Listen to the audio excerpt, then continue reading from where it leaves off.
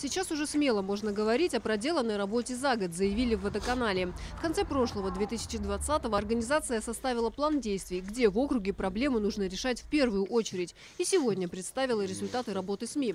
Завершается замена водопроводной сети на Скобянке. Этого ремонта ждали 12 лет.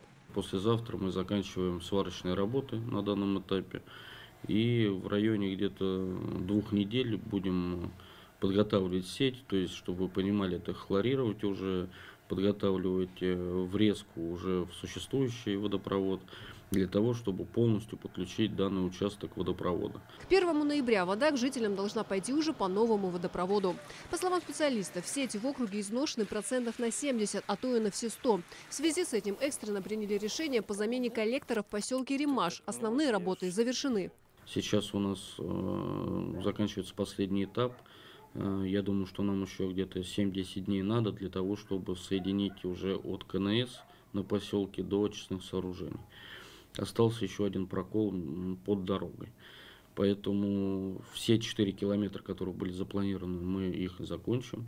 И э, жители Римаша впервые за 50 там, с лишним лет вздохнут свободно, легко. Водоканал дает более 50 лет гарантии на данный участок. Что касается реконструкции главных очистных на Птицеграде, завершены предварительные работы. К концу года зайдут уже проектировщики для того, чтобы отбить точки мероприятий, которые будут происходить конкретно по, по заданию, которое было разработано проектной документацией.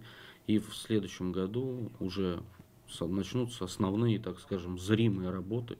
Восстановлены очистные сооружения в деревне Федорцово, причем только за счет самого предприятия.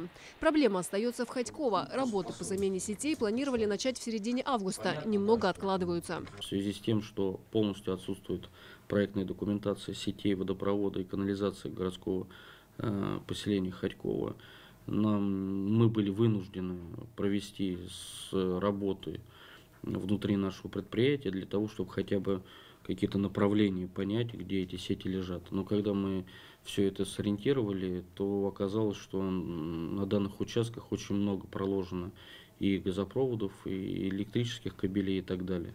Все эти согласования, они, к сожалению, не быстрые и имеют свои особенности, так как э, существует охранная зона.